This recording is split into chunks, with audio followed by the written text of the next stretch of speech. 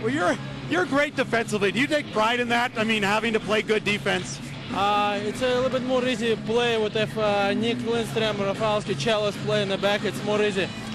Well, you make it look easy. I want to ask you, one of your line mates now, Valtteri Filppula. Can you talk about him? Uh, yeah, he young, uh, aggressive, play well, and uh, he good hockey player. I hope so. He progress every year, but he not play well to soccer.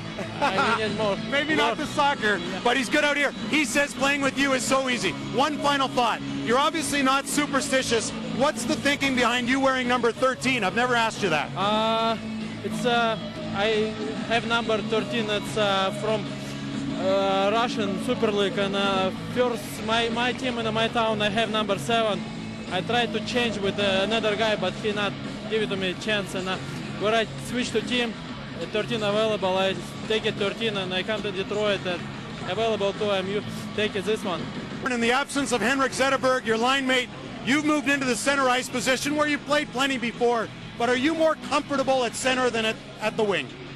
Yeah, I'm more comfortable with uh, play to center, but not comfortable with play with uh, about uh, out with Hank. Uh, was I have two news. It's one news.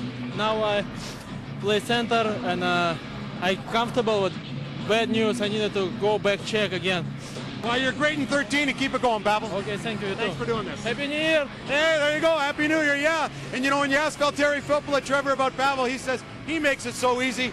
Valtteri doesn't have to get in position to take a pass. Pavel will find him wherever he is.